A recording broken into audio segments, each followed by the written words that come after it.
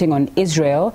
In the footage, he says, as a Christian, he's obliged to love and pray for Israel and that his nation will be cursed if he doesn't do so.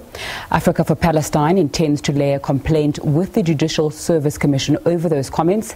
Advocate Ben Winks joins me via Zoom for more. Thanks so much for your time on SABC News this afternoon. Talk to us about whether comments attributed to a judge should be looked at uh, in, in a way of reflecting his work if they're made in a personal capacity?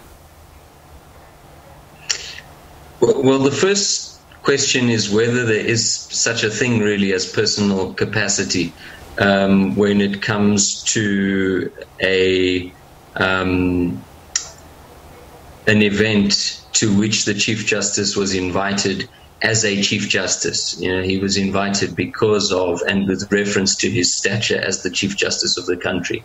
He qualified his comments by saying that he was speaking as a citizen, but the platform he had was because of his status as a Chief Justice, not as a citizen.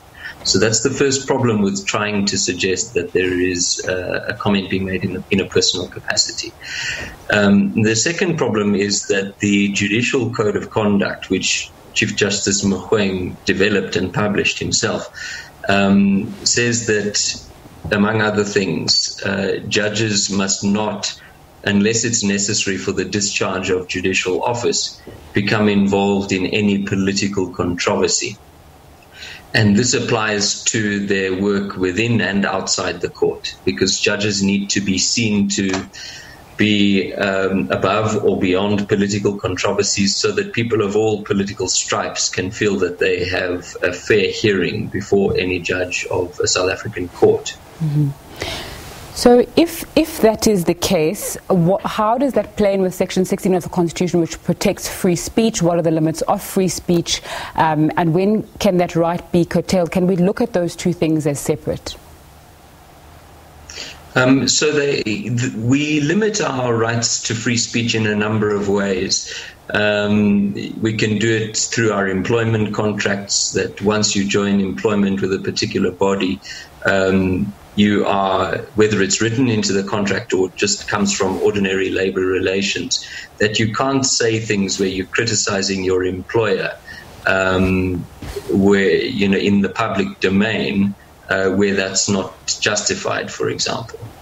Um, and as a judge, when you take on the role of a judge, you take on a special role in society that requires that you exercise restraint. This is what the Judicial Code of Conduct talks about um, in the way that you conduct yourself in your public and your private life and the comments that you make in public.